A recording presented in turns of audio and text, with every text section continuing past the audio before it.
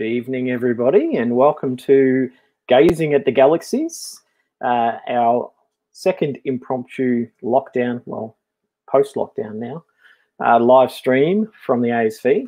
Tonight, we're going to be focusing on galaxies and we will be working around clouds, so please bear with us.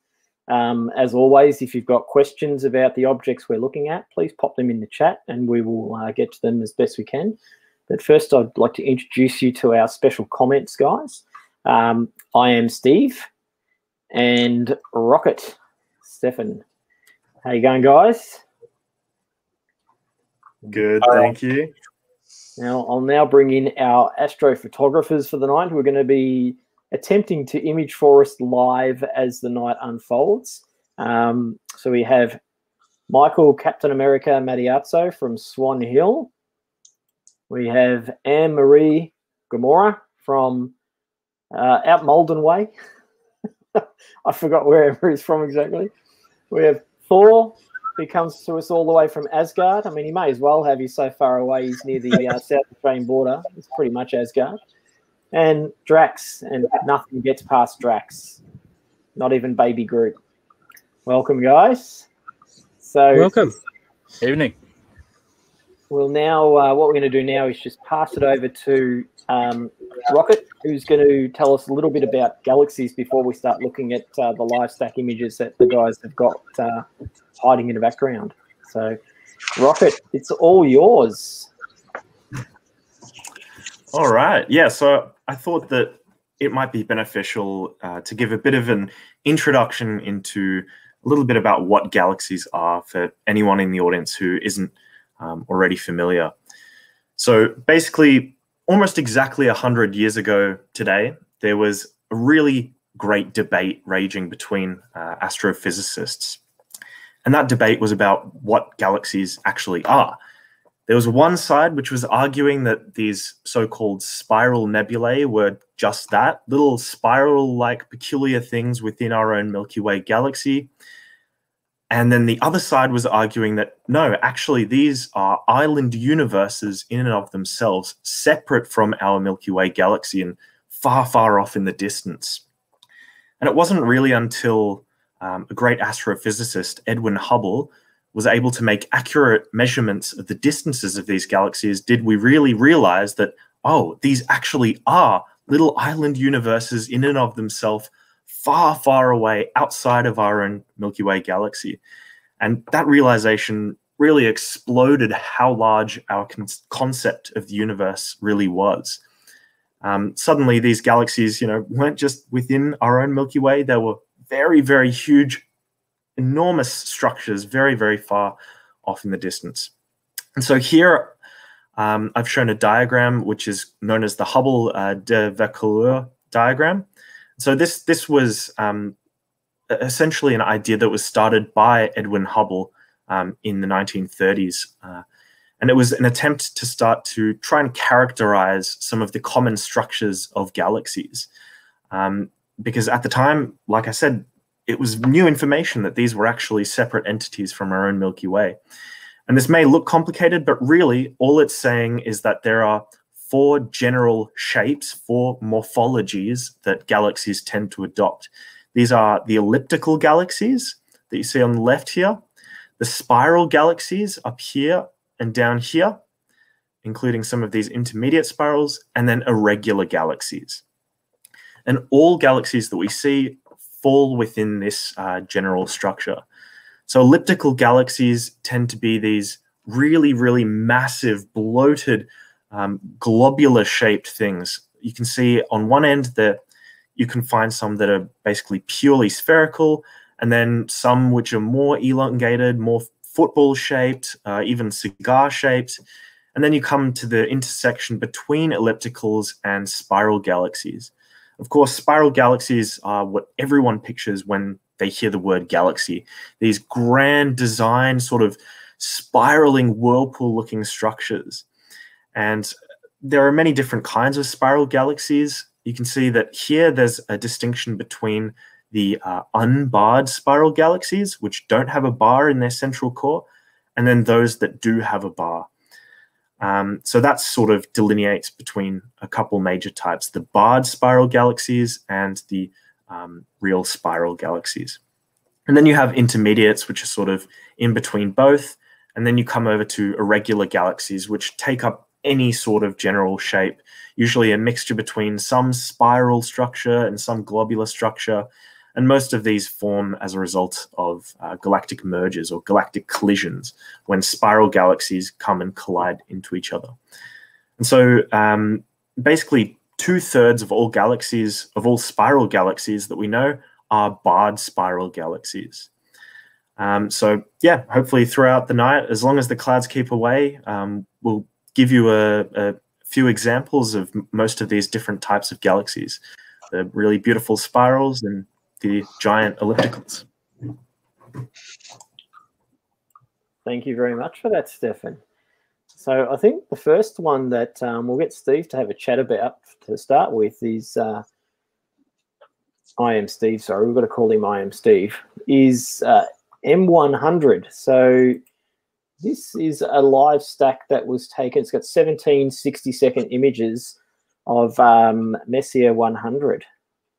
So Steve, you'd like to tell us a little bit about that. So this is from uh, Anne-Maree Gamora's uh, equipment. Uh, uh, so this is she's been working on this prior to the live stream, so that we had something for you guys to see when we started.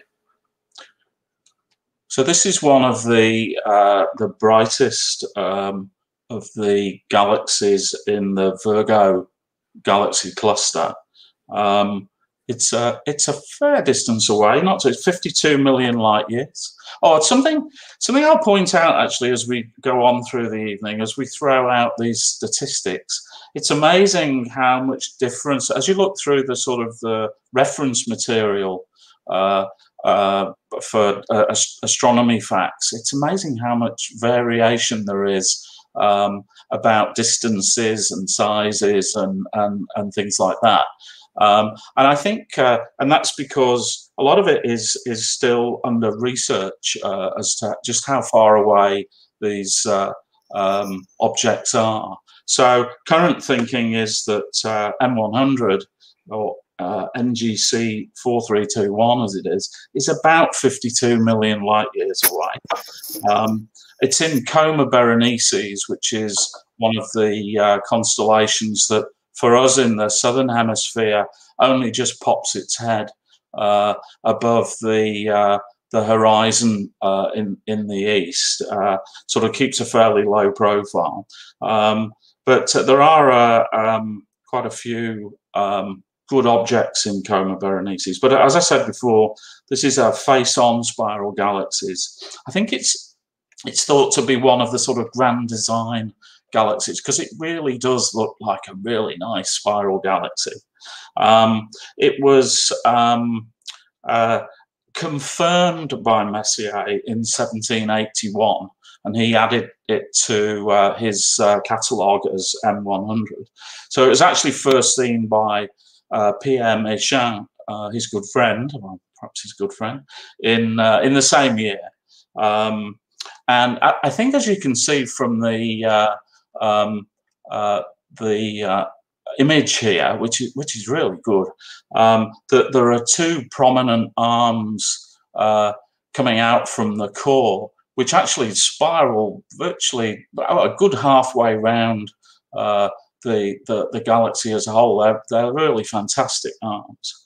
Um, and um, in these arms, uh, there are quite significant areas of uh, intense star formation. Uh, and that's particularly true in the towards the center uh, as, uh, uh, as you get towards the core. Um, there are a significant number of young blue stars in there. Um, one of the things, uh, if you think back to um, Stefan's uh, uh, diagram of the different sorts of galaxies that there are, spiral galaxies tend to have uh, a lot more star forming areas. So where uh, dust and gas is uh, um, being condensed into into stars, elliptical galaxies tend to be more mature uh, and have less star forming areas in them. They tend to be older. Um, and in some cases, we'll see spiral galaxies actually evolving uh, into uh, elliptical galaxies, sometimes by kind of uh, combining with uh, other other galaxies as well to form larger galaxies with bigger black holes at the center. And we'll talk a little bit about those as we go through some of the uh, other objects. There's there's a, a couple of really good uh, examples uh, uh of those as uh, as we go through. So we've got the uh, antenna galaxies, which you'll see later on, assuming we've we can peer at them through the clouds, where we've got two galaxies starting to come together, and then um, uh, Centaurus A, which current theories are that that's actually two galaxies that have actually combined together and completed that that combination, almost completed that combination. Um, Stefan. Yeah, there's there's a couple little interesting facts that I'd like to add about this particular galaxy. So this galaxy, uh, as Steve said, is about 55 million light years, 52, 55 million light years away and it is uh, almost a good uh, analog of what our Milky Way galaxy might look like. It's a slightly barred spiral galaxy. It's a little bit smaller than our own Milky Way galaxy with the diameter of around 100,000 light years, as opposed to the Milky Way's 150 or so thousand. Um, and this particular galaxy contains around 400 billion stars.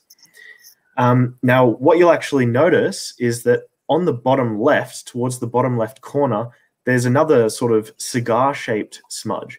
Now, that is uh, another galaxy actually uh, in around the same region, around 50 million light years away, uh, called NGC 4312. Um, and that's actually another spiral galaxy. Um, but this time, this spiral galaxy is viewed edge on. So we're seeing it really as the flat disk that it really is, as opposed to the face on spiral that M100 in the center is showing to us. Um, also, M M100 is uh, it's it's a very very active galaxy.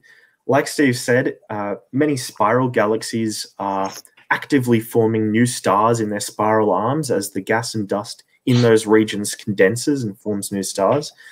But this this galaxy is um, actually a, a, very particularly active galaxy. It's called it's it's got what's called an active galactic nucleus, which means that the supermassive black hole at the center of this galaxy is actually actively feeding on some of the uh, gas in that region, and it's really throwing out quite a lot of gas, uh, a lot of um, high energy radiation, which is why if you look in the center of that spiral, the center looks really, really bright compared to the rest of the, the more faint uh, spiral arms. The other thing you can notice um, there um, is the fuzzies, the little faint fuzzies popping around the edge there. There's yeah, yeah. I, yeah, I, I was going to point that out. Those yeah. little fuzzies are actually satellite galaxies of this larger M100 galaxy. So it, it's a fact that most of the galaxies in the universe are actually dwarf galaxies, just smaller galaxies. And most of those dwarf galaxies orbit much larger galaxies like these spirals. Um, and our galaxy, the Milky Way, has its own two satellite galaxies. It's actually got around 12 satellite galaxies, but two major ones, which we call the Large and Small Magellanic Clouds. So if you're living in Australia and you've ever looked up at a really clear dark sky during summer and you see what look like two sort of small faint fuzzy clouds, those are actually satellite galaxies around our own Milky Way. Now, Steve, this one might be for you, I think. Um, Michael wants to know what shape is the Milky Way galaxy? Well, I think uh, Stefan kind of uh, uh, hinted at that earlier on the, the Milky Way galaxy would it looks pretty similar to M100 that we're looking at uh, in the live stack here. So it's got a, a, a smallish bar and then a number of uh, uh, of significant arms coming out from the the spiral arms coming out. Um, we're um, uh, we sit in one of the, the we as in uh, the the sun uh, um, and the solar system, we sit in one of the arms that's about a sort of a third of the way out uh, from the from the center in what I think is called the Orion Spur. Is that right, Stefan? Is it the Orion Spur? He's gone. That's right. Yep. Yep. Sorry. so yes, it, um, can you hear me? Yeah, we can now. You're on mute. No, yes. We could see you. I could see you nodding your head. Uh, just at the wrong time. Sorry. but yes, yes, that's right. Yeah, we're we're in an outer stretch of uh, of one of the Milky Way's arms called the Orion Spur. That's right. All right. So, um, I think we might move to if Michael or Captain America can get the uh, image he had just up just before. We'll wait for him to do that while we keep staring at uh, Anne Maree's. It's a it's a wonderful uh, it's image. Probably, it's a beautiful life stack. It really is. Yeah. It's probably one of the best life stacks we've we've had. Uh, oh, actually, uh, yeah, we'll go to Michael's, and then I'm going after we've had a look at Michael's, we're going to jump across to well, once we've had a look at Captain America's, we'll, we'll go across to Thor because Thor has um, worked his um, his lightning magic and, and got something quite beautiful on his screen. So now this was NGC. I can't remember now. Is it two double nine seven? Two double nine seven, I think it is. Is that right? Um, is that right, Michael? He's playing around in the background at the moment. I'm not sure if he can hear us. No, he's jumped. Yeah, I can. Yeah, yeah no, oh, you've got sorry to bring the screen back. Where'd your screen go? Yeah, it's fine. It's fine. No worries. No there we go. So, what what object are we looking at here? Two double nine seven in two double nine seven. Beautiful. Yep, directly above us, pretty much. Uh, magnitude ten point one. Um, it's got um, lovely uh, face on spiral galaxy. That's a textbook face face on spiral. Uh, about nine by six um, arc minutes across. Uh, total distance probably about 38 million light years away. Yeah, that, that's interesting, uh, Michael. There, the uh, the because looking at another reference source, uh, I'm showing 23 million light years away. It's it's, it's fascinating the differences that there are in uh, uh, in the distances, and and it's obviously as uh, these different galaxies are studied and more more research is done and more analysis. Uh, uh, you know, using redshift and stuff like that to just find out how far away these are. Uh, there's one of the objects uh, later on that we'll hopefully look at where they've sort of halved distance away in the last uh, few years, but uh, we'll come to that later. Um, so just quickly, Michael, before we move to Thor's um, gorgeous image that he's got on his screen, which is another live one, how many exposures is this one? How many stacks is this? That is a single 30 second exposure. A single 30 second exposure. using a Canon 6D Mark One uh, on a uh, Celestron uh, C11 RASA, Rowe-Ackermann ah. Schmidt Astrograph f2.2. So unfortunately, I, I haven't got the technology to, to do all this live stacking business, but I'm sure I'm sure you can teach me how. That's all right. We'll get we'll get the boys to show you how they do it. But still, I mean, you've taken this tonight while we're sort of chatting around in the background anyway. So it's still with a few others as well. So well, we'll we'll come back to some of those others, but I think we might jump across to Thor's um, because it's it's quite a beauty. So we have Hamburger Galaxy, Centaurus A. Who'd like to? Uh, I can do, uh, do a bit of an introduction uh, to it. So this is uh, one of the objects that we looked at uh, in the the live session that we did last Friday, and this is NGC 5128 Centaurus A. Um, so um, this is a bit closer, so it's about 12 million light years away. Um, pretty bright, magnitude 6.6 and it's in the constellation Centaurus. It's grouped with, there's three or four objects uh, in, in a very close area. Um, we'll look at one of the other galaxies, um, uh, which is which is NGC 4945, that's quite close to Centaurus A. This is also fairly close to Omega Centauri. So it's as the, name suggests, it's in the constellation Centaurus. Um, so this is um, an elliptical galaxy um, with a superimposed dust line. And it's actually, remember I was saying that some galaxies have actually merged together. So it's uh, the result of a well. The thinking is that it's the result of a merger of uh, of two smaller galaxies, um, and with the elliptical galaxy devouring a spiral galaxy, uh, and the dust lines are are really the sort of uh, resulting from that from particularly from the spiral galaxy. Um, it's a source of uh, massive radio emissions as well from um, a supermassive black hole uh, at the center. Um, Stefan, uh, do you want to talk a little bit more about uh, about that? I know uh, last week you did a, a very good uh, uh, explanation of some of the things going on inside Centaurus A. Without wishing to put you on the spot. yeah. So. No, no, that's, that's what I'm here for. yeah, Put so, so like like you mentioned, Steve, this this yeah, so so Centaurus A is the result of a merger between two galaxies, like you said, and it's actually got some really interesting structure deep within it, uh, an interesting structure that we can't see. So many galaxies have in their core a supermassive black hole um, that are often, you know, many millions of times as heavy as a single star. So Centaurus A itself has a very active supermassive black hole, and this black hole is around 55 million solar masses, meaning it may it weighs as much as 55 million suns. And this is around 10 to 11 times the size of the supermassive black hole in our own galaxy. So this is a real monster.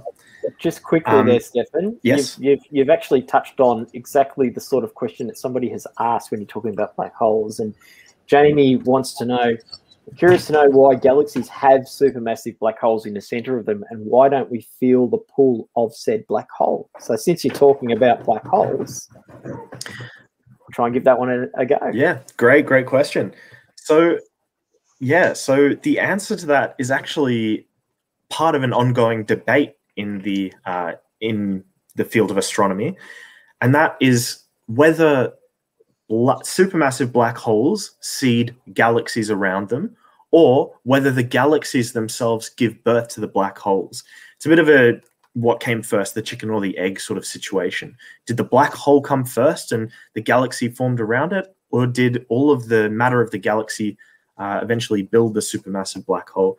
There's still quite a bit of debate as to which is uh, the exact case. Um, what was the second part of the question? I'm sorry. Uh, the second part was why don't we feel the pull of a black hole? Got that up.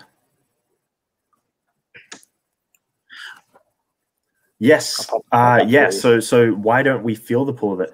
Well, the fact is that we we we do feel the pull of the black hole, um, but so yeah, we, we, essentially we do. All of the stars in our galaxy, the Milky Way, orbit the center of the Milky Way. It takes around, I think the number is around 250 million years for our solar system to make one trip around our galaxy, the Milky Way.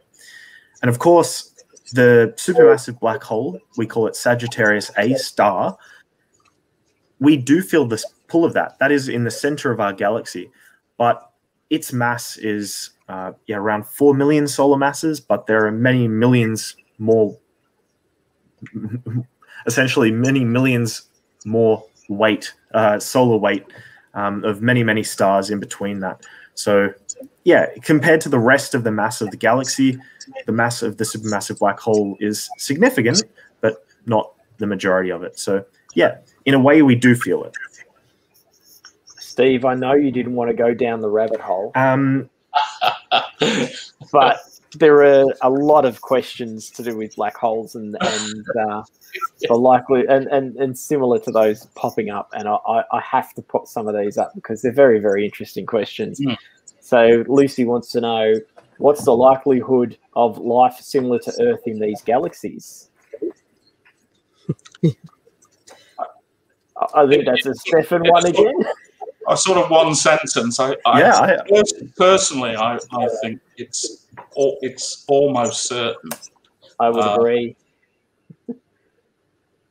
I, I would agree, but uh, I think Stefan might have a bit more of a detailed answer than you and I. Has to go and explain the Drake equation. So the Drake equation. There you go. That's- you can that's, explain the uh, like- Drake equation if you'd like. yeah, yeah, yeah. Or the yeah, Fermi so, paradox. so Or the This Fermi is- paradox here. All the Fermi yeah, yeah. paradox. So this this is of course, you know, one of the biggest questions of life. Are we alone in the universe? And one of the ways that astronomers and astrobiologists, people who study life in the universe, they don't have much to sample from, but they exist. The people who study this question have come up with a few different ways of thinking about it. And one way is an equation called the Fermi paradox. Um, uh, sorry, called the Drake equation, thought up by a famous astrophysicist called Francis Drake. And this is an equation that's meant to give us some estimation of how many intelligent civilizations there are in the galaxy. And so, some of the things that we need to know for this equation are how many planets there are in a galaxy. That's something that we can roughly estimate. Um, but then we need to know how many of those planets are Earth like. That's a bit harder to determine. Then the next thing you need to know is how many of those Earth like planets have water or conditions that may be, may be suitable to develop life. That's another unknown at the moment. And then the questions keep um, compiling. So, how many of those habitable Earth like planets could develop microbial life? How many of those microbial organisms could evolve to multicellular organisms? How many of those multicellular organisms could develop consciousness and awareness and build societies? So, most of those variables we just have no way to estimate at the moment. We don't have any data. We are only just starting to fill in some of the earlier blanks. How many planets there are in the Milky Way? How many of these planets may be Earth like? So at the moment, we can't really make any realistic guess as to how how often life arises and how often complex life arises. But even if life arising is a one in a billion chance, there are still trillions of planets in our Milky Way alone. So even if it's a one in a billion chance, a very, very small chance, just the sheer number of planets that are out there make that very small chance a high probability of happening. And you know, that's in one galaxy out of trillions of galaxies. So, you know, even though we may not have the answer now and we may never know the answer, I think the likelihood that life is out there is astronomically high. Yeah, I mean, the So cur- really, that's current- interesting. That equation is just a guesstimate, isn't it? It's absolute guesswork. yeah. Uh, I mean, the current thing. Yeah, for the is- time being, but I mean, theoretically, we could start filling in some of the blanks. Sorry, Steve. Go, Steve. Sorry, I uh, I was I was butting in there. Um, just a couple of. It was a chance to throw in a couple of statistics. Uh, um, that, and again, these are probably subject to uh, uh, some uh, interrogation. Uh, th- there's thought to be about 200 billion galaxies in the universe. 200 billion. That number's actually come down. It, it was a bit higher than that, and then they've sort of reduced it down. Those 200 billion galaxies will vary in size from the small galaxies, which contain a few hundred million stars, uh, to the giant galaxies, which will contain more than a trillion stars, so a thousand billion stars. So there's a hell of a lot of noughts there. A hell of a lot of notes. Um, oh, sorry. Sorry about that. I was, I was jumping across to Captain America's because he had uh, a nice image, but oh, hang on, it's back. There we go. I know you were talking about this one before, Steve.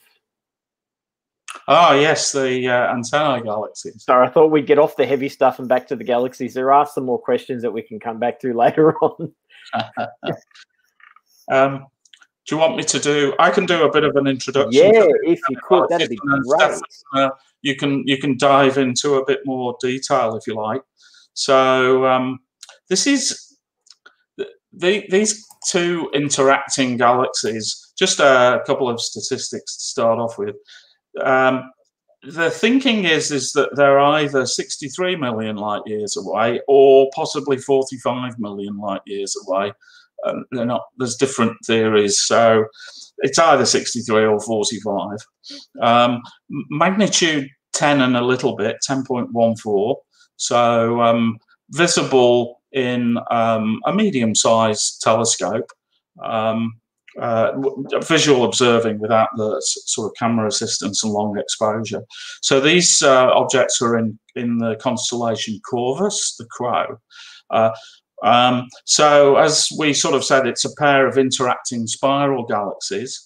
Um, and um, as the two galaxies collide, what's happening is that the gas and dust uh, is sort of coalescing together and we're getting uh, significant areas of uh, rapid star formation. Um, the interesting thing is that this, the, I don't want to worry you because this is billions of years away, but this is likely to be what will happen with between the Milky Way and the Andromeda Galaxy, which is our near big neighbor. So the Andromeda Galaxy is similar size to the Milky Way, perhaps a, a little bit bigger, but similar size, spiral galaxy as well. So this may be for, for you know, the astronomer uh, looking at uh, the Milky Way uh, and Andromeda galaxies in, in a couple of billion years from, you know, 45 or 63 million light years away, this may be what they'll see of our two galaxies coming together. Um, the um, so current thinking as well is that the two galaxies were actually separate about a billion years ago. Um, so it's, this has happened. This has happened fairly recently, within the last billion years, uh, um, and within 400 um, mil, uh, million years, the two nuclei will actually collide into a single core, uh, and should probably then evolve into an elliptical galaxy. Uh, as all that star formation kind of calms down and we get a more mature galaxy that's sort of theory at the moment. It's just just thinking. Stefan, have you? Do you want to add some more stuff? Yeah, not not too much. You pretty pretty well covered it there. That's that's uh, yeah. As you can see, there's two really beautiful galaxies that have um, basically just uh, caught in the process of smashing into each other. And um, if you haven't seen an image of these two galaxies before, you might not have noticed, but there are very, very faint tails coming out, out of either end on the left hand side of the image. And those are the sort of streams that have been flung to the sides, giving it the name antennae galaxies. So those streams are, you know, many millions of stars themselves being thrown out. And so, like Steve mentioned, this is likely what's going to happen to our own Milky Way galaxy. It'll eventually, in about 5 billion years, collide with the Andromeda Galaxy, the other large galaxy in our local group. And but in reality, this is nothing really that we would need to worry about. You might think that you know when galaxies collide, it's just oh stars hitting each other left, right, and center, exploding, and all of this.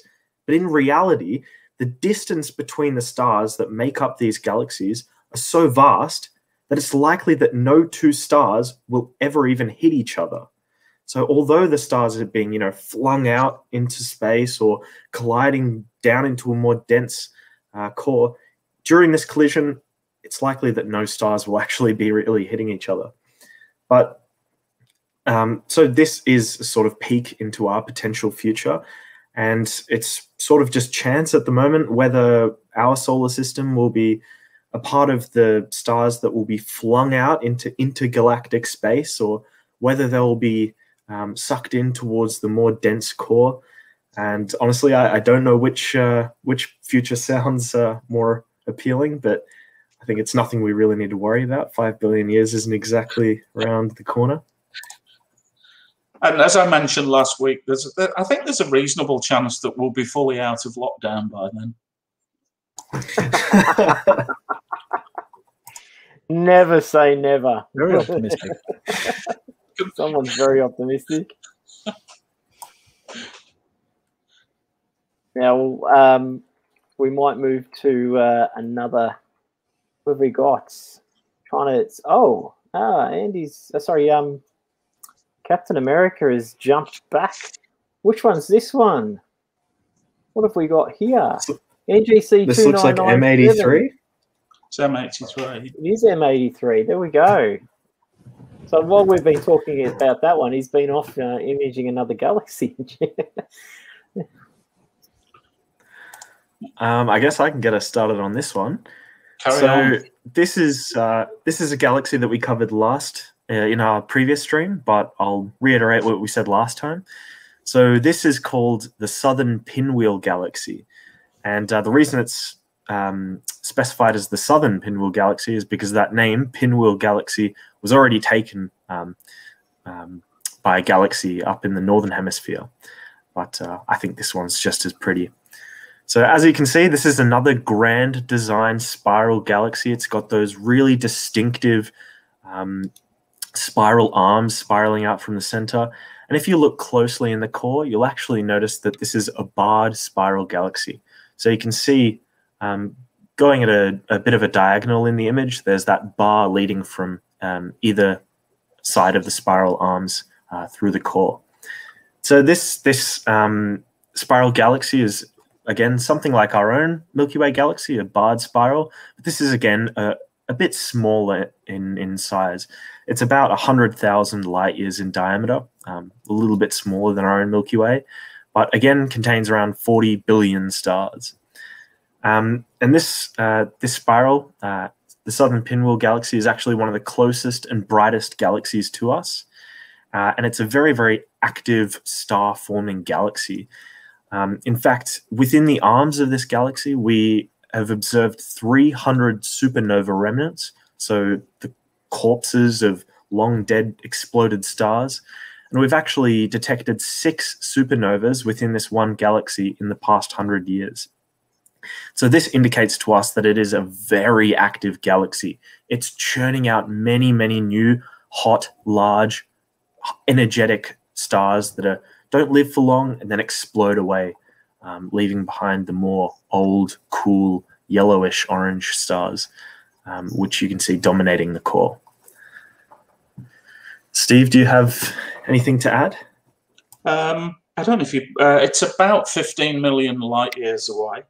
Um, so it's uh, it's it's. As I think you mentioned, it was uh, one of the uh, uh, close closer galaxies to us.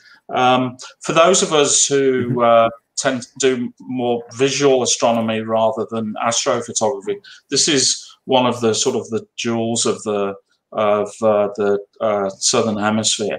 Um, it's uh, it's one of the objects that's really great to look at through um, the bigger telescopes that we have at our dark sky site uh, up at Heathcote. Um, particularly, obviously, through our big 40-inch telescope, uh, you can very clearly see the bar. It, it won't it, it won't quite look as good as this, uh, but nearly as good. And you you can see the bar. uh, You can obviously see the bright core, and you can also see some of the uh, uh, the the spiral arms moving, going out from the uh, out to the outer edges uh, uh, of the galaxy. So it's a it's a really great object to to look at through just a, um, a, a a normal sort of a telescope. Definitely one of the showpieces of the southern sky. There we go. Now, I think Thor is working on something, and he hasn't quite got anything there. I know uh, where uh, Anne-Maree is at the moment. She's got clouds, and I can hear rain hitting the roof above me in Bentleigh. So that's uh, that's a great sign. Actually, we might go back to uh, Captain America. What have we got? we've got a satellite moving through there by the looks of that in that image. That is what have we got here? We might need him. Oh, is this Leo oh, Triplet? Oh, Leo triplet? yeah. Look at that. Two of two of the three with the satellite sneaking through. That's the third one. There's the third one there. So who, who'd like to have a bit of a chat about Leo triplet? Uh, I'll give a bit of an, I'll give a bit of an o- overview. yeah. Oh, actually, yeah. Le- Michael, leave that uh, that shot there. That shows it really nicely. Um, so the the Leo triplet, as it's called, for fairly obvious uh, reasons. Um, the two um, galaxies that we can see at the top there um, are Messier objects, so M65 and M66.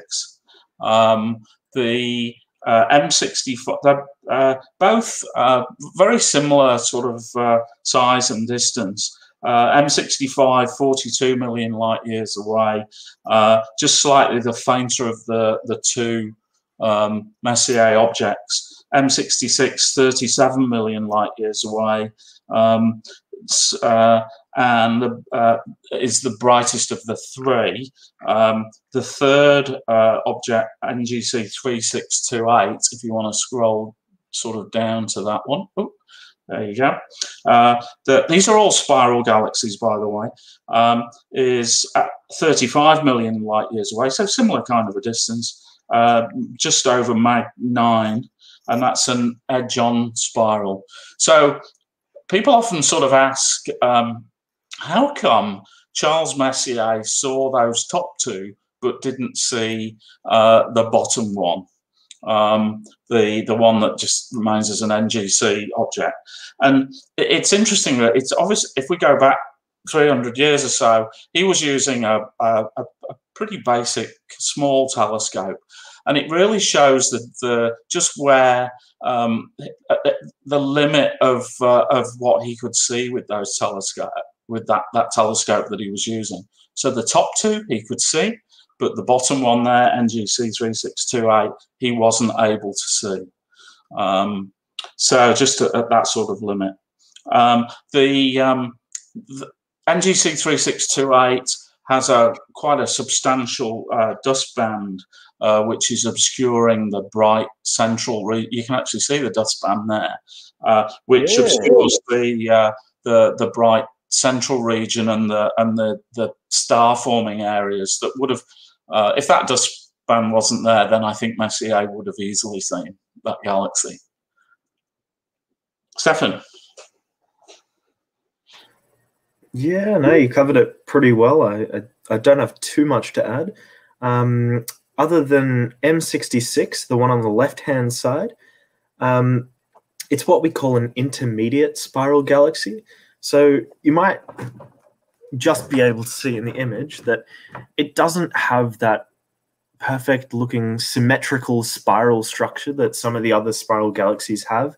It's sort of a little bit warped, a little bit, um, yeah, it's a bit hard to tell. Um, but basically, this is an indication that this galaxy has had quite a violent past, if you will. It, it's it's evidence that this galaxy has interacted within its past. Now, this obviously isn't uh, wasn't a collision with another major galaxy like the uh, the Antennae galaxies, which we saw. It may have just been a, a smaller um, dwarf galaxy that sideswiped it and it's just pulled the spiral arms apart a little bit. So yeah, whereas um, M65 on the right, that's much more of a, a clean spiral galaxy. Um, with uh, yeah, not really a lot of evidence of uh, it being disturbed. Yeah. And um, because of that, it's it's yeah. Sorry, continue. No, I was just going to say um, while we're looking at that, we've got Anne Maree is uh, also Gamora is uh, currently doing some stacks of um, Sombrero Galaxy. Um, but uh, I just wanted to, Mike, saying that makes makes me think how lucky I am when I complain about my own telescope. And Mike, as you would know, you know me. Um, at least it's not a coffee grinder like mine is. Whoops. Oh, here we go. Here's a good one. Is there a limit to the distance that you or we are able to see out to in terms of galaxies? Yeah, that's a really awesome question. Do you mind if I take it, Steve? Uh, no, carry on. Absolutely. Yeah, so there there definitely is a limit, but it sort of depends on whether you're talking about amateur equipment or professional equipment. obviously, us amateurs with our ground-based telescopes with you know relatively small apertures and we're under an atmosphere, we have a limit of what faintness we can see essentially. So if a galaxy is more than I think magnitude 22 or something, then that's on the sort of edge of what we can detect with um, with our amateur equipment. But obviously, professional astronomers with much more sophisticated equipment, uh, their limitations are, are much less. But there is a physical limitation, not related to our equipment, but related to the physics of the universe, there is a limit as to how far we can see. And this is called the, the border of the observable universe. So this is uh, a really interesting point that we maybe should have brought up before, but the further you look out in space, the further back in time you're looking. Because essentially, light has a limit. It has a speed limit, the speed of light, right? So when we look, say, one light year at an object that's one light year away, the light that we're seeing from that object took a year to get to us. These galaxies that we're looking at, some of them are 50 million light years away. So when the light left those galaxies, that was 50 million years ago. Now we know that the universe itself has an age limit. The universe is only around 13.8 billion light year, a billion years old. So as we start looking further and further away into space, billions of light years away, we're looking further and further back in time, and eventually we hit a sort of um, a sort of limit called uh, the cosmic microwave background, where we're looking so far back in time that we're essentially seeing the early stages of the universe. Um, and yeah, I hope that answers your question. I think that's a, a very good answer. We've got, um, oh, hang on a second. Ah, Gamora is good to go. You'll have to share your screen with me again, Anne Maree, because we've uh, it's dropped off for some reason. But Anne Maree has the Sombrero Galaxy. She's uh, put together some stacks. So once she shares the screen, we'll, we'll pop that one on.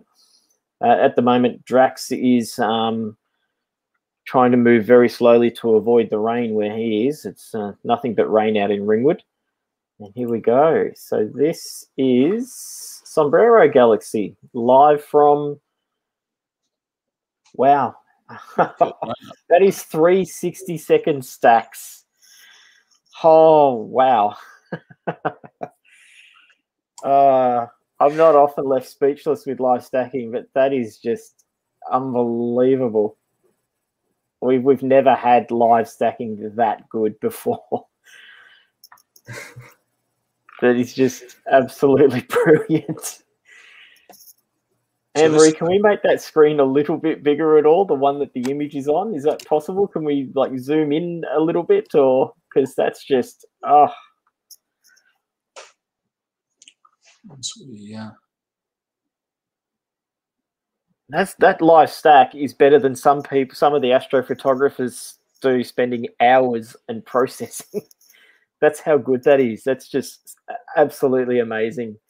Um, well, Steve, you can um, take over because wow. Okay.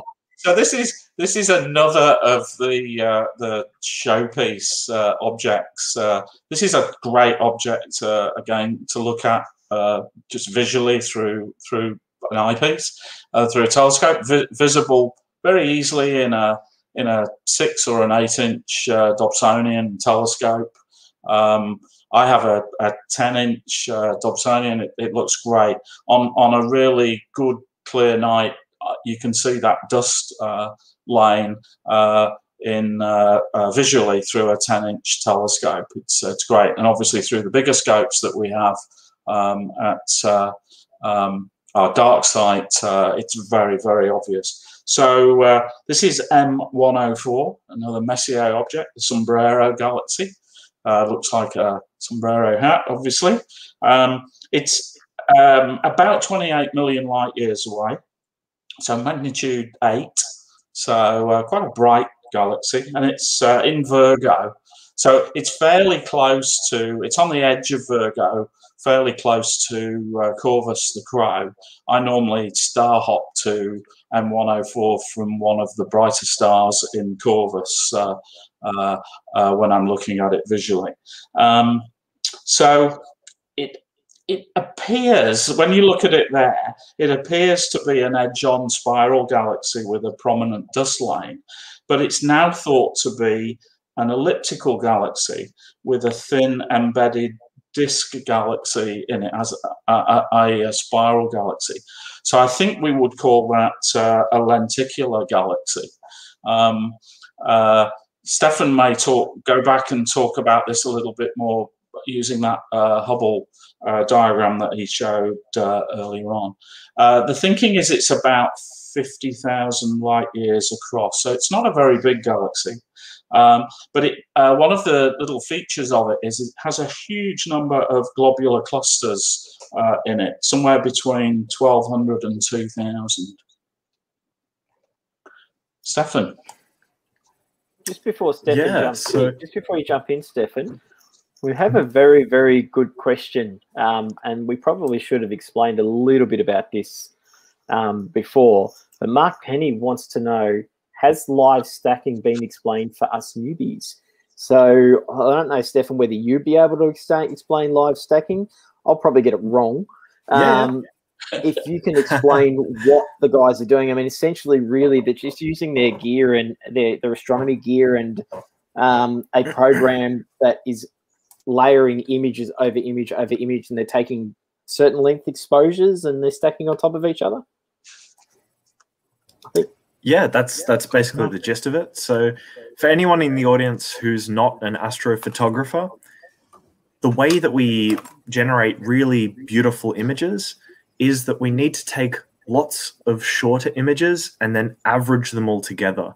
And doing this brings down the noise and it makes a much more contrasty, bright, colorful um, image. And so, live stacking, which is what we're doing now, is basically just taking a lot of short exposures, a lot of short photos, and just our program is just adding them up and up and up and up. Um, yeah, it's it's just what we would do when we're trying to make a full photo. But usually, to make a, a full photo, we will stack, you know, three, five, ten hours worth of photos together. Whereas here, we're just doing a, a few minutes. Um, so I think you know this can really attest to the high quality of current um, astrophotography gear. The fact that you can get an image of this, uh, you know, a galaxy 30 or 10, 20 million light years away in just a few minutes on your computer. It's pretty pretty amazing when you think about it. So this is six six images so far, and it's uh, each image. I think from memory, Emery was saying that she was doing sixty second exposure. So this is six minutes of exposures of the Sombrero Galaxy. Uh, and we do have a question that Anne Maree can jump in and, and answer. Caleb wants to know what gear is this on M104 right now? So, Anne Maree, what, what equipment are you using to take these images for us? Uh, I've got a reflector. It's a 250 1200 millimeter um, focal length, and I'm using a ZWO as a 1600 mm um, camera. And that so that's all hooked up, hooked together to the camera, and you're just doing 60 second exposures at the moment. Yeah. Yeah. What's the if you were to if you were to do M104 and process it properly and do a proper run on it, how many hours would you normally take of this of this object? Probably only a couple of hours. Um, but because I've got a mono camera, I'd have to take um, these ones, the Loom, and as well as red, green, and blue, and then I'd have to But- process each one and then stack them all together. Yep. To get a So colour. there's Mm. so there's hours upon hours of work to get the final finished product, and what we're seeing here is now well seven Yeah, minutes. I spend more time- Yeah, I don't spend as much time on galaxies as what I do on nebulas. Uh, nebulas, you can spend like 10, 20 hours. But these galaxies, I don't spend so much time because the, the the lumen, the red, green, and blue, um, you don't have to expose for quite so long. So you can you can sort of get a decent exposure. And with my scope, I can get good shots without having to spend too much time on them. Same with the RASA. Somebody else said they had had a RASA. Yeah, that Very was Captain fast. America's. Mm. Captain America's got his rasa. Uh, we've got another quick question, Emery, that you might be able to answer, and I'm assuming it's to do with the stars. Um, what causes the telescope, telescope astigmatism, and is the effect deliberate? Do you mean these star spikes? I'd say so, yeah. Um, that's because of the reflector. Because I have, um, oh, somebody else help me out here. I'm not technical. Um, I, I can explain if you like. Yeah. yeah, the thing that holds the secondary secondary mirror. There we go. Somebody else explain that. Yeah, there's a cross in the middle of the uh, scope which holds the secondary mirror in place. And that So causes that those. just causes those. Yeah. See, Drax is moving so quickly that he was able to jump in and answer that question. Thank you. Anne-Maree, what, You Yeah. asked that question about three hours ago, wasn't it? Yeah, you did. I asked that three hours ago, Drax. It took you that long to answer. sorry, sorry, Anne-Maree, what, what mount are you using? Uh, I've got an e- a Skywatcher EQ6R oh, okay. for this. Yeah, this one. Now, um, we've got a very, very interesting question, and um, the person who's asked it will know what my answer will be. Uh, And I'll, I don't know how many of you people, of you, of you here who are streaming with us in the team here. Um, I know Andy hasn't seen through the 40 inch. I know. I don't know if Michael's seen through it or not. I don't know if haven't. Um, my Anne Maree hasn't. So really, Steve, uh, essentially, this will probably be one for you and me and maybe Leigh, possibly Rockets. I don't know if Rockets seen through the 40 inch, but uh, Neil's dad, um, Ken, who is a wonderful man, Ken's a, a legend uh, as far as I'm concerned, um, wants to know what our favourite galaxy to look at through the 40 inch. And Ken, uh, mine, mine's not actually a galaxy. My favourite object is uh, uh, Ghost of Jupiter. But if we're talking about galaxies, um, it, it's a hamburger for me. Hamburger Galaxy through the 40 inch is absolutely stunning. What about you, Steve? I, think this one takes some beating, M104. Uh, M83 that we had a look at earlier on as well is is a real showpiece uh, as well. The Fill, one of fills the eyepiece, doesn't it? M1, Yeah. uh, one of the M83. Challenges with the 40 inch is that because um, it's got a very long focal length, the, the field of view uh, through the telescope is is fairly narrow compared with a smaller Dobsonian telescope. So something like uh, the Leo triplet, which I can get all three objects in the same field of view. Uh, uh, in my 10 or 12 inch uh, Dobsonian telescope, you can only get one of the three galaxies in the field of view of the big 40 inch. It's just the, the way it works, it's the way the optics are.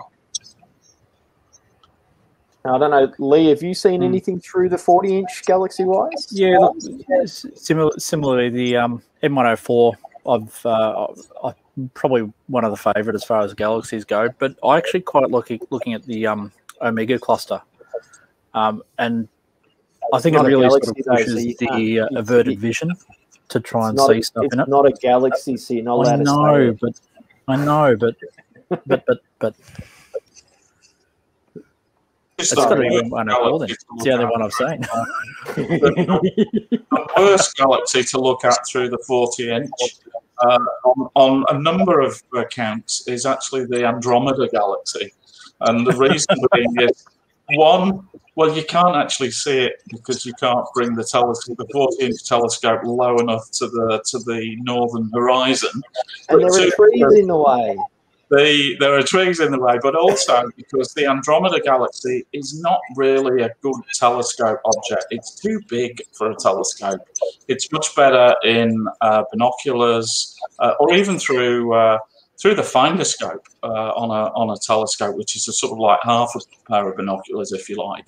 So uh, I often get uh, people up at the dark side will say, "Oh, can we can we look at the Andromeda galaxy?" And I go, "Well, No, you're not going to like it." yeah, you're not going to like it. No. Um, for those of you who don't know what the 40 inch is that we're talking about, that's the ASV's um, prized possession. The the it's a it's a 40 inch um, obsession. Is it Steve or is it E ED? Hubble It's um, um, I can't think of the, the initials of the uh, manufacturer. Hubble Optics. Well, Hubble Optics provided the mirror, so the Mirror. mirror was right. ground uh, in uh, Hong Kong uh, and then shipped over. It took a long, long time for it to come. Um, and uh, it's a special sort of um, laminated mirror. It's not a solid piece of glass. It has um, a sort of waffle structure in the middle. Uh, and then uh, uh, it's sandwiched. Uh, the waffle has there's obviously a layer at the back, and then the the, the ground uh, um, um, mirror on the, the on the top surface, which does all the work. Oh, look at this. You I'm haven't got gonna add this. Here we go. And, oh, oh, ah, no, I've got to add him back. Hang on a second. We're going to solo layout Drax. Drax has bought up the 40 inch. So for those of you, yeah, it's an SDM, I'm being told by SDM, it. Yeah. yeah, EDM, SDM. Oh, it's all French to me. Um, all I know is it's a bloody big telescope. Um, it's beautiful to use. Uh, it's the the the big brother to the 25 inch that we've got up there. Um, and for those paying attention in the background of that photo, if you zoom back out again, Lee, you can see our Deep Sky Section Director's van in the background. all set up. It sits within uh, our roll-off roof uh, observatory. The, that's the that that that's, the roof rolls all the way across uh, um, to cover the telescopes over. Um, in in that observatory, we have the 40-inch telescope. We have an 18-inch telescope. no, no, we don't have an 18 inch anymore. Well, it, it's there some of the time. It does go on tour, doesn't it? As, uh, It's as- on tour at the moment, yes. Um, um, we have a, a 12 inch Dobsonian. We have, uh, is it a 10 inch um, Schmidt Cassegrain? yes. Uh, we've got a whole bunch of telescopes in there. So the 40 inch refers to the size of the mirror as well. So the mirror is a 40 inch mirror. The, interestingly, you, can see the secondary mirror there at the in, in the top, just below the spider vane, which is that cross that we were talking about that causes those Yeah. uh, uh, those um, uh, the stars to do the sort of cross on them. Uh, that secondary uh, mirror, I think, is bigger than the mirror in my 10-inch telescope. It's a pretty big secondary. It's, it's absolutely huge. It is. It really is. So that's if you're an ASV member, um, you actually can be trained to use that telescope. So there's there's some incentive to become a member of the society if you're not already a member. Uh, you can learn to roll that roof off and then learn to use that telescope so that if you go up to that site and there's nobody up there who knows how to use it and you're there and you do know how to use it, you can use it. Um, but you do have to go through a training process, which is pretty straightforward. Oh, there's Drax. He's back. so there's a very good incentive. Oh, is this tweezers? It looks like it. It is. There we go. We've just jumped to the next object. Yep, Nothing like I've got that just too. Oh, have you got a live stack of that? Have you, Thor? Yes, it's it's a it's all right. It's a um a bit small, but um I'll just see if it brighten up a little bit. I might. What I might do is jump between these two views. Whoop. So we've got um, Captain America's view of tweezers that he's been imaging, and then we've got Thor's version that he's been live stacking right now. How many images a- is that? That's just a single uh, thirty second ones. They just they're just Single thirty overlaying. second of tweezers. So Steve, um, oh, sorry, I am Steve and Rocket. If you've uh, got anything you'd like to say about tweezers, I'm just going to jump between Captain America and Thor's screen. They can battle between each other. They can both lift each other's hammers, so that's a good thing. So when we were talking about um, Centaurus A, and I mentioned uh, that there's a group of uh, of uh, really great objects uh, in in a similar part of the sky. This is one of the other galaxies. Uh, uh, so uh, in a tele- in a visual telescope, this is a huge object. It fills the field of view. Um, uh, and, and the reason it's huge is, is not that it's a particularly huge galaxy, it's actually just very close. So it's uh, thir- about 13 million light years away. So similar sort of distance to Centaurus A. Um, it's a it's an edge-on spiral galaxy, as you as you can see there, um, and it's um, the second brightest uh, galaxy in that group. So Centaurus A is a little bit brighter, but not very much uh, brighter. Um, uh, Stefan, do you want to add some more detail?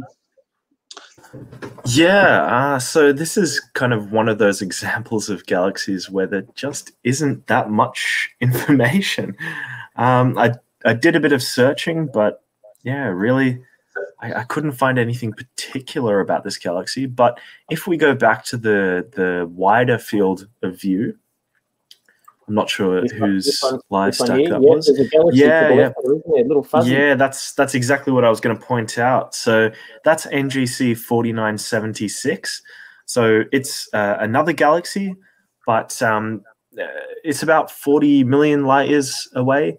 Um, you can see it's it's it appears close to the Tweezers galaxy, but um, I, I don't believe that they're actually interacting. So it's not that NGC 4976 is a satellite. Um, so this this galaxy, NGC 4976, is what we call a peculiar elliptical galaxy. So um, it's either undergone some interaction in its uh, in its past, or it's got an active galactic nucleus, uh, which is quite interesting because it's it's a relatively small galaxy. Um, just one final interesting fact about this one is this galaxy here was actually discovered by an amateur uh, astronomer.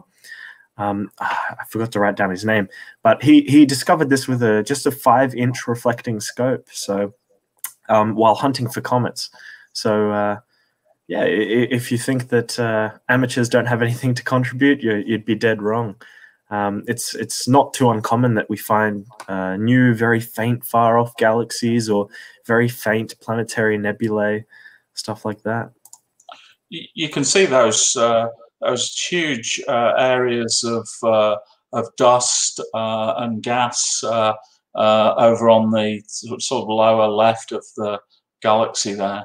Um, this is one of the object, one of the few galaxies uh, where you can see when you look at it visually through a through you know a similar telescope to what I have, a 10 or a 12 inch telescope, you can see a, a, quite a bit of detail, quite a bit of granularity. Some of that that detail of the uh, uh, of the the dust and and the gas. It's a really great object to look at um, vis- visually. So I think we might jump to Anne, Anne Maree's got. Um, sorry, I've got to use the proper names. Gamora has got NGC four eight eight nine. She's done some um, some images of there and wow, there's like how many were there? One, two, three, four, five, six, seven, eight, nine, 10, 11, 12, 13. Wow, there's over 20 galaxies in this in this field of view.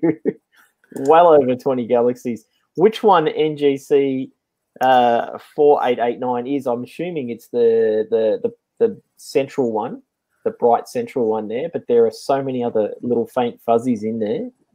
Yeah, it's dead center. Yeah, so one. it is the one right in the middle. Yep. And then surrounding it is a, a heck of a lot of other galaxies. Yeah, this is, um, we were talking about sort of distances. So I think this is the the galaxy that that is the furthest away that we'll be viewing this evening. It so, is, yes. Uh, it's uh, it, this is the fascinating thing with uh, with with these objects is we we look at this and we think, well, that's not so good, is it? Oh, it's just a bit of a fuzzy blob. But it's an, a mass, it's a super giant elliptical galaxy. That's 330 million light years away. Uh, quite 330 million light years away, that one in the center. So, so that the light that we are seeing from that galaxy set off before there were dinosaurs on the planet here. Before there were dinosaurs on the planet. I think. That's, yeah, it is. Yeah. yes. Before there were dinosaurs, yes. I certainly hadn't arrived on the planet. I don't know. So, some say some say that that's not true.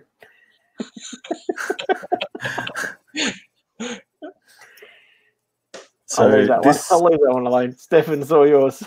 yeah, this is actually it, it. It may not visually look like much. These elliptical galaxies tend to be, you know, just sort of amorphous blobs of stars. Not much to look at compared to the spiral galaxies, but oftentimes these are the more interesting galaxies actually in terms of their history. So NGC 4889, the major one of these uh, galaxies, is, as we said, an elliptical galaxy. And most of these elliptical galaxies have come about because a number of different galaxies have all collided together and merged together in this giant, super giant galaxy. And this really is an incredibly large galaxy. Our Milky Way is around 150,000 light years in diameter.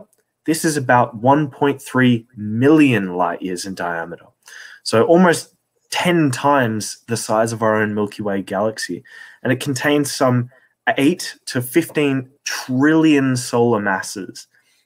So this is an absolute monster of a galaxy. Um, so a lot of elliptical galaxies like this, because of um, all of the interaction and collision that they've gone through, they lose a lot of their um, a lot of the gas and dust that tends to build up in galaxies. And so a lot of these elliptical galaxies are essentially they've undergone all of their star formation and they're really just the older stars that are just sort of petering out. And there's not a lot of new stars being formed within them. So you can really think of them as sort of these giant old mature slowly dying galaxies. But that's not to say that they're they're inactive. Um, uh, NGC 4889 actually has a really incredibly large supermassive black hole at its center. Um, this supermassive black hole is around 5,000 times larger than our own supermassive black hole. contains some 20 billion solar masses. This is one of the largest supermassive black holes that we have on record. Um, to give you some idea, the event horizon, so the the you can imagine it like the the largest extent of this black hole stretches beyond the orbit of Pluto. So this black hole could suck down our entire solar system like nothing. So this really is a monster in the universe. Unreal. I didn't realize it was that big. 5,000 times the size of ours. and knowing how big the one in our, our, our Milky Way is compared to our sun. Yeah, I, I mean, it's called a supermassive black hole, but this thing is just a, a super. mega giant. Oh my god, Mega there's no words for it. We've got a couple of a couple of questions here. Um, Neil's back again. Uh, wants to know where the telescopes we're seeing through tonight are located.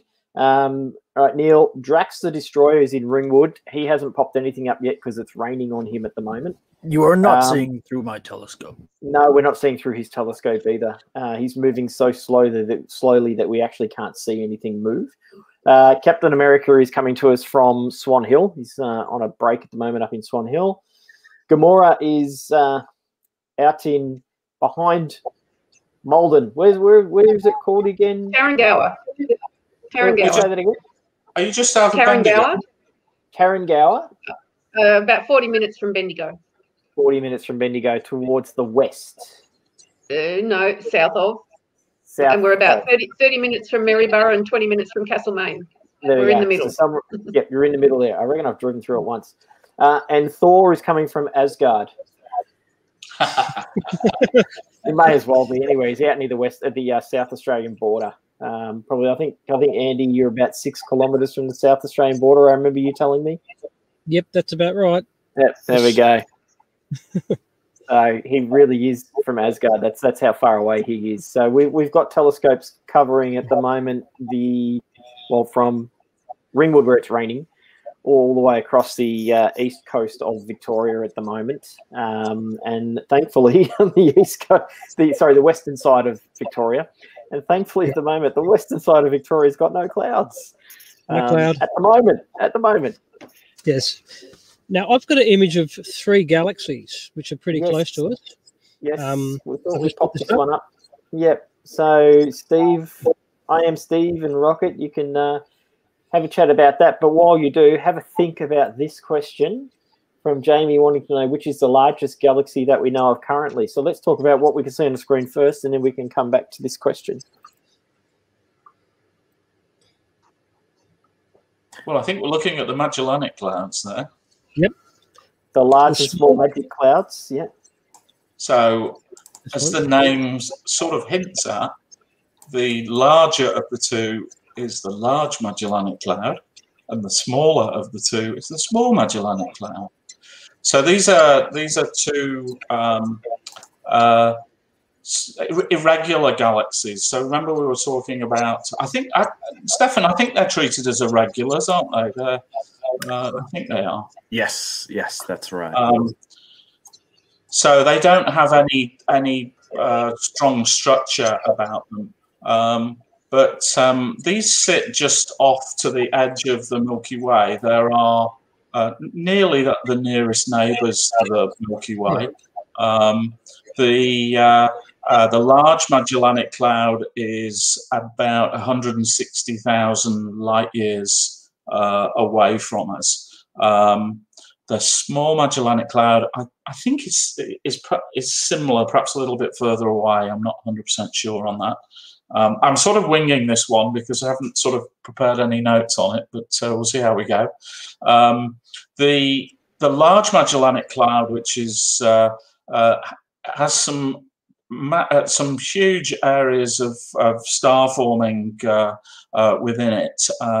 there's a wonderful nebula called the Tarantula Nebula, um, which and there it is um, when you zoomed in there.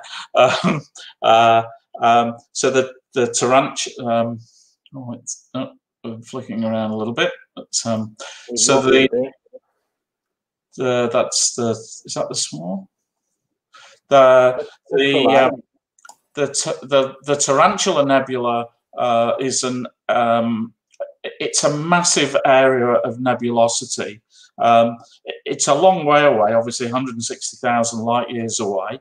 If it were the same distance as the Orion Nebula, which is, um, I think, about 1,200 light years away, um, uh, if it were that close to us, uh, it would cast shadows in the night sky. It would be so bright. Um, and uh, wonderful object to, to look at through a visual telescope. That, that's the Tarantula Nebula. Um, but uh, sits within uh, the, the large Magellanic Cloud, as I say, has these large areas of, uh, uh, of star forming nebulosity, if you like.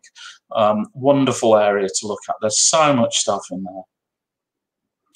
Stefan yeah. So, so the other question that we had was, what is the largest galaxy that's out there? And that's a good question. We we don't know every single galaxy that's out there, but the largest galaxy that we're aware of is uh, cataloged as IC one one zero one. Um, so that's another catalog designation called the Index Catalog. But this this galaxy is another one of those super giant elliptical galaxies. So another one of those big blobby galaxies that's formed from the merging of um, probably many dozens of galaxies over its lifetime. And this galaxy, IC1101, it's uh, located in the constellation Virgo, and it's around uh, two million uh, light years in um, in radius. I think that's yeah, so about 4 million light years in diameter, this thing. So this galaxy alone would stretch the distance from our Milky Way galaxy to the Andromeda galaxy twice. So this is really an incredible monster, a beast of a galaxy. Uh, it's estimated to contain about 10 trillion stars. So yeah, that's uh, so very, very we have a, another couple of galaxies here that uh, Captain America is just throwing up, and I'm not sure what they are. Is it NGC 5078? Is that right? Yeah, looks like it is. Not sure if it's on our list of options. he's testing us. He's testing he, us. He's Michael's just like throwing stuff up randomly for fun. I think just to really, really, really. What was that? NGC NGC five oh seven eight. 5078. While you guys are uh, researching that one, so we can um, pretend we know what we're talking about, we'll bring up we'll bring up Anne Maree's M eighty seven, and you can have a chat uh, about that one now. Yeah. And, uh, Steve, So- you, you have a look at N- you look up NGC. I can't remember what it was now. We'll go back there. 5078. 5078. and and Robert, you can tell us about uh, Messier 87, M87. Yeah. And there's some more fuzzies around that one too. Yeah, there is. So so this this is actually one that um I, I I- I'm certain all of us know at least one fact about, and this is because M87 is the host galaxy of the supermassive black hole that was recently imaged back a couple years ago by the Event Horizon Telescope. This was the first image of a black hole that was ever created, and that's the supermassive black hole that's in the core of this galaxy M87. So M87 itself is another one of these supermassive uh, elliptical galaxies. Again, the result of uh, many, many different galaxies all merging together. And um, and yeah, so it, it's it's a, basically just an enormous sphere of uh, of stars. Let's uh, I can't really find how many stars it's estimated, but my guess is on the order of uh, almost a trillion stars within this galaxy. And um, yep, so there's a Yeah.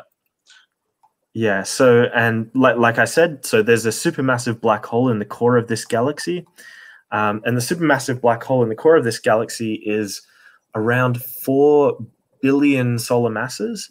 So that's about a thousand times as large as our own supermassive black hole, um, and just by happenstance, so the, the the first image of a black hole that was ever created by the Event Horizon Telescope project, um, they were trying to create two, uh, or they had two candidate supermassive black holes that they were considering imaging, either our own uh, Sagittarius A star in our own Milky Way galaxy, or the supermassive black hole in uh, M87 here. And because e- even though this black hole in M87 is so much further away, it's so much larger that it appears about the same size. So um, they they selected this one as uh, their first image. But if if you're not aware of uh, this project, I'm sure you've at least seen the photo of the first black hole image ever taken. But uh, to take that image, they essentially used observatories all over the telescope to act as uh, one basically Earth-sized telescope. So here you can see it um, on the screen. So what you're seeing, basically that dark patch in the middle, this is near the uh, event horizon. Um, you can see this this sort of darkening where a lot of the light even is being sucked into the event horizon, um, and all of that glow around the edge. That's very very high energy radiation that's being emitted. I believe in X-ray. I can't remember off the top of my head. I think it was X-ray, but basically, as gas and dust fall into the black hole, it um, it orbits the the event horizon extremely quickly, and the friction from the gas rubbing against itself um, superheats that gas, and it re-emits um, electromagnetic radiation at very very high frequencies, very very high energy. Um, and that this galaxy there, that is the host of that supermassive black hole. Um, And oh, can you put the black hole back up again, Drax? There we go. So Jamie has uh, said it perfectly. It is the forbidden donut. Don't want to go near that donut. You'll get spaghettified. I like donuts. Homer likes donuts as well. So, so M87. Now, are you, uh, Steve, have you got um, some info now on uh, NGC Got it. 5078 Go, go to 5078 and we'll, and 5010 as well? which is, uh, so which is, which is 5078? And- Oh, come on! You're meant to know. You should be the. You're the expert. thank you, thank you. uh, five what I said about that.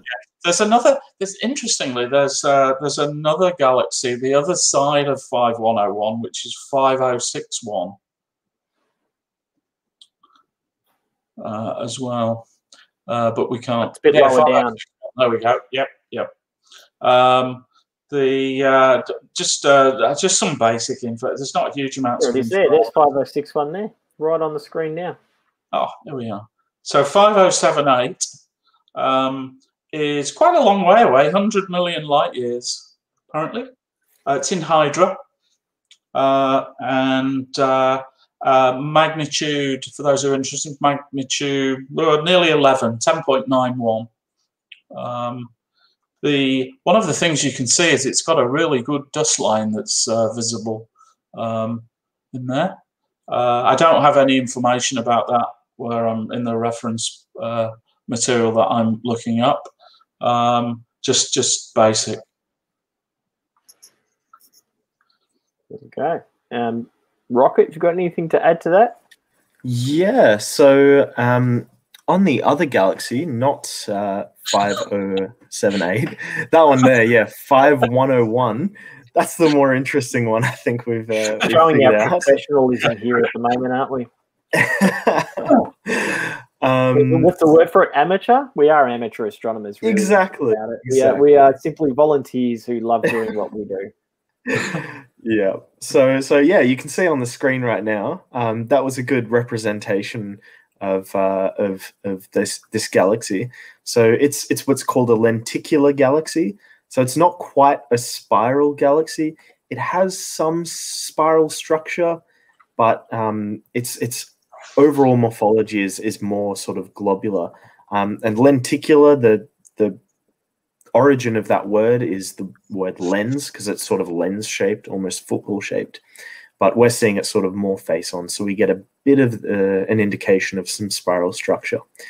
But um, this this galaxy in the image that we're seeing in the live stack, you can see really the core, the sort of bright core. But um, if we go back to that uh, the previous image, um, if we can get that up, where we can see the sort of outer spiral arms as well. Not sure who had that up. Yeah, yeah, there we go. So that really bright core, that's what we're able to pick up in the live stack. But you can see that surrounding that, there's this sort of outer circle, this halo, another sort of um, shell, another ring of um, of uh, spiral arm, and this is really an indication that this this galaxy has had some interaction in its past that's disturbed it in some particular way. Um, other than that, it's a similar size to our own Milky Way, around 120, 130,000 light years in diameter. But uh, yeah, not not too much else that I could find, unfortunately. I think we're now sort of sitting and waiting for some of our guys to see if they can get some other um, objects up for us to look at. So um, we did have a question, which while we're waiting, you might be able to answer, Stefan. Um, would a black hole work like a tornado or like water spinning it down a drain? And I guess it depends if you if you're in the northern or southern hemisphere as to which way it spins. um, yeah. So so it's interesting. That's it's an analogy that's often given is that a black hole is sort of like a a drain, but really black holes don't suck, right? They don't produce any suction force. They're just what's what's another way to think about it? It's like Pulling. yeah, it's it's like a hill. If you imagine a hill that is continuously going down, but that angle is becoming steeper and steeper and steeper. There's no the, the that hill isn't sucking you in, but if you put a ball on there, that ball is going to keep rolling down and down and down and down, faster and faster and faster. So, um, but yes, it's absolutely true that the closer you get to a black hole, if you don't have enough um, enough velocity to basically stay in orbit around that black hole, you will eventually start falling into it. And um, yeah, nothing good will come of that. If you haven't heard of it, uh, if you fall into a black hole, you will be what's called spaghettified. You will be turned into spaghetti. Yeah. yeah. yeah. So so basically, that's a result of the the tidal forces. Um, so the force of gravity at your feet will be higher than the force of gravity at your head, and so your feet will start being pulled away further and faster than your head, and you'll be stretched out as you know as thin as a piece of spaghetti, essentially. But um, one one interesting thing about that is that the larger a black hole is, the lower the tidal force that you that you experience um, when you get closer to it. So some of these supermassive black holes that we've been talking about, you can easily fall into the event horizon of that black hole without being spaghettified, um, just because the black hole itself is so large that the tidal force, the difference in force between your legs and your head, is small enough that you can fall in in one piece. So yeah, bit of a tangent, but I don't recommend falling into black holes. I was gonna, I was gonna do that next weekend, but now you've you spoiled it. Uh, so we have the Eyes Galaxy up at the moment. So I am Steve Rocket. Uh, go nuts on this one. Following this, uh, Anne Maree's working on um, believe she's working on M86, and then uh, we might close it out. Michael wanted to close out our night with a uh, a comet because Michael is a comet man. So Captain America is a comet man. So we'll have a look at eyes. We'll jump across to uh, M86, and then we'll finish with a comet. I've, we've stumped them with eyes. Yeah, I'm just, um, huh? I'm just going. The, we we had a we sort of had a look at the so the eyes galaxies are in Markarian's chain uh, in uh, Virgo, um, and uh, I'm I'm just talking off the top of my head here because this is not one that we kind of prepared. We're having to sort of just find objects that we can see through the clouds. Um, just uh, um, Stefan, I don't know whether you can uh, cover for me while I just uh, home in on it in my uh, star chart here and pick up a few more facts. Yeah, sure. I'll just bring up my uh, my notes from right. last time about this. Come on, you so, need to know this stuff off the top of your head, guys. Come on. Let me consult my memory, okay? All right. your Google memory? Yeah. um, yeah. So, so the Eyes Galaxy um, can we increase the brightness in the image a little bit, just so I can uh, try and get my bearings as to which ones we're looking at? And brighten it up a bit. oh, there we go. Yeah, yeah. Okay, so I'm.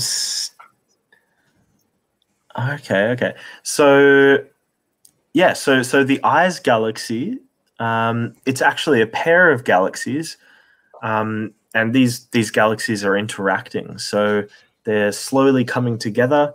Um, they're not not um, very far through their interaction, but um, uh, uh, over the next million years, they'll they'll continue falling through each other and then eventually fall back and keep going in this sort of oscillatory motion and um, eventually merge into one uh, one much larger galaxy.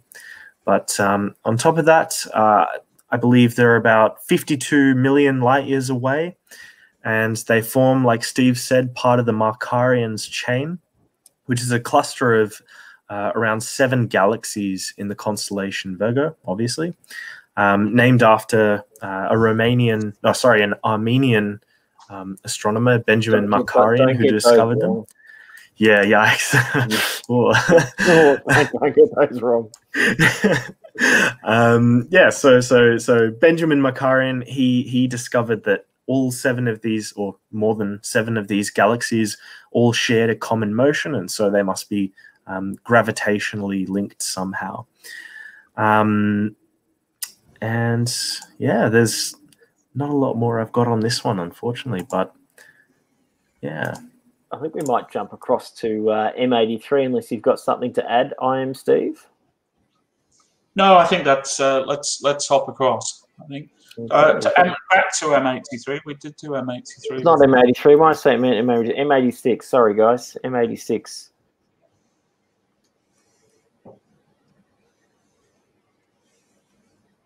I can see a look of bemusement on your face in the background. uh, um, Steve, do you have uh, something on this? I've got a little bit I could say, but carry. I've, I've uh, so these are again these are in uh, these are on the sort of uh, edge of Markarian. So M86 is, is the fuzzy one down towards the bottom, I believe. So that, that, that's actually a really a better view of the eyes galaxies there because you can see the interaction of uh, the two galaxies with the the sort of streaming coming from the galaxy on the left and sort of heading over towards the, the right That's hand. The, whoop, whoop. No, no, no, the, top right corner. in the top corner there. Yeah, in the top corner. Yeah. So that I think that's a better that's a much better view of the eyes galaxies. Um, so at one end of Markarian's chain is uh, M84, which is um, a an elliptical lenticular galaxy. Uh, M86 uh, is kind of forms like a pair uh, with uh, with M84, and I think uh, M86 is the uh, the large galaxy at the bottom of the picture. The big, the big, the big fuzzy looking one. Yeah, the big fuzzy yep. one. There he is there. Big bright bugger. So these uh, M86 is about 50, 57 million light years away. Um, uh, the um, oh, sorry, just go back to that. Um, and uh, it's uh, pretty bright, magnitude 8.8. So obviously, this was one of the objects that was that was bright bright enough for uh, um, good old Charles Messier to uh, to see through his limited uh, um, optical uh, facilities that he had, or through telescopes that he had available to him back in the 18th uh, century. Um, he would not have been able to see those other galaxies that sit around. In fact, he didn't see the eyes galaxies above there, which seem nearly as bright, but through um, a, a, a visual telescope, just where you you know you're looking through an eyepiece. Um, M86 at the bottom there is a lot brighter than the eyes galaxies uh, above. Uh, we've sort of made almost made the eyes galaxies kind of falsely bright uh, because of the way that we're uh, catching the light with the LiveStack. Um, I don't know. Is that as that's the full image there, isn't it? We if we went a little bit lower down, we would be able to see um, M84 as well, which is a similar sort of object to M86. So um, a, um, uh, a, an elliptical uh, lenticular galaxy. Uh, I, I, think um, Captain America was going to show us a, a, comet. He's moved to, looks to me like he's moved to a little bit of Markarians, but uh, here we go. So while Michael gets his comic going, I just wanted to thank all the, the, the team tonight Drax, Thor, Gamora, Captain America. I am Steve, Rocket, and myself, Star Lord, for putting our time aside to do this stream. Um, also, wanted to let those of you watching know that um, we have two upcoming events uh, now that lockdown's finally starting to uh, ease and we're getting back to normality on the 26th of June, uh, we have an event at Shiraz Republic up in Cornella, which is about 15 minutes sort of northeastish of our dark sky site. So it's about uh, 20 or 30 minutes away from uh, north of sort of Heathcote. Uh, it's called Wine Under the Stars. Uh, tickets still available, so you get drink, uh, dinner, and an evening with us looking through telescopes, not live stacking like this. We will do some live stacking onto a big projector. We'll do a tour of the night sky. We've got a quiz as well, but you'll actually be able to look through our telescopes as well. We'll have the 18 inch there. So there are still tickets available under the event section on our Facebook page and on our website. If you have a look at the main page of our website, it's there, as well as uh, coming up on the 29th of, of June, we have Beastronomy at Tiny's Bar and Bottle Shop in Scoresby a cheese platter, glass of beer, quiz, astronomy themed quiz. uh, Tour of the Night Sky, as well as uh, live viewing through telescopes there as well. Um, so if you're looking for something to do to sort of ease that lockdown pain and get back to some normality, um, there's two events that we've got coming up, and tickets are still available for both of those events. Um, have a look on our Facebook page, as I said, under the events section, or on our website on the front page. The links are there. Um, Caleb, what are we planning to stream next week if you are streaming? Uh, don't know if we are streaming. Just depends how everybody's feeling and what everybody's up to. Um, we may stream. We'll just see what happens. Um, we have been enjoying doing these streams, and if there's uh, a third installment of of, of uh, our uh, movie themed uh, streams, then we might be able to call it a trilogy. We'll see what happens. Uh, now, Michael, I'll get you to jump on here and tell us what we're looking at. The little fuzzy blob is a galaxy. So if you want to unmute yourself and explain uh, what we're looking at, that would be. Hello, hello. yeah, sorry about that. That's all right. I had to take everything off to unmute. So yeah, basically, uh, this is a little uh, little old comet here, um, C twenty twenty T two Palomar, discovered by the uh, Actually, I'm, actually, I'm not too sure whether they used the five meter on this, the the Hale. Um, so it was discovered well uh, later, late last year. Um, it's arriving at perihelion on the 11th of July. It's got a distant object at 2.05. Um, when it gets to perihelion, it's currently uh, 2.08 from the sun and uh, 1.48 AU from Earth. So it's um, it's a rather distant object, but it's um, it's relatively intrinsically bright, as you can see by the very um, very bright nucleus there. Um, and these are only 30, 30 second exposures. Sorry, pardon? What magnitude is it at the moment? Yeah, 10.0. Oh, okay. So it's pretty bright so then at the moment.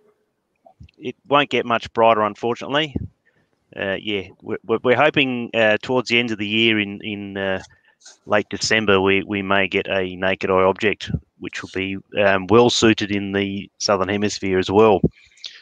Um, if, just an interesting comparison here, Michael.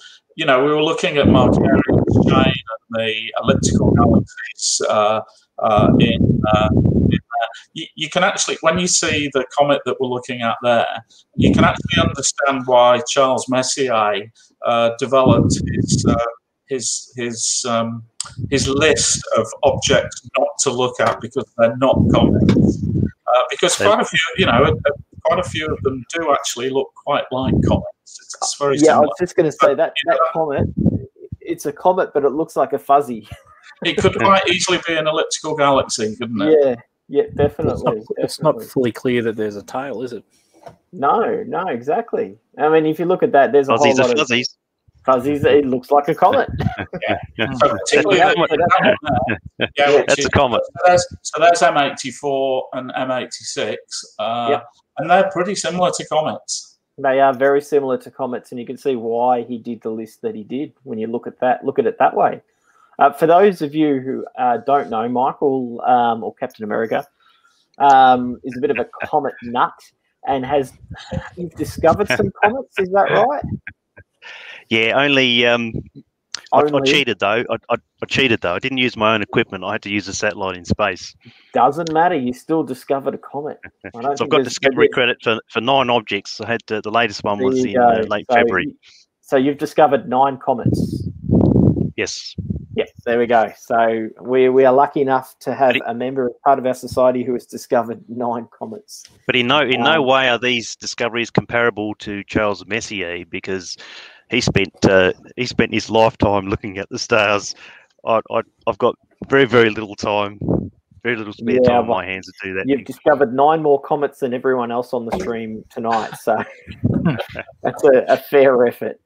Um, Oh, thank you, sir. so- no, it's a great effort. Like it, it's, and I think the well, the AAC is proud to have you as one of its members, um, doing some wonderful science. So I'm going to bring us all back up on screen. Drax the Destroyer has um, he's moving so slow. He's just joined us. That's how slow he's moving. Nobody saw it. Um, want to thank everybody for joining us tonight. And if there is a third installment and we make it a trilogy, we will we will let you know. So keep an eye out on our Facebook page. We'll see what happens. Um, I'm pretty sure I'm not doing anything next Friday night, so we'll see. Um, but uh, thank you everyone for coming along tonight, and we look forward to seeing you at the next stream.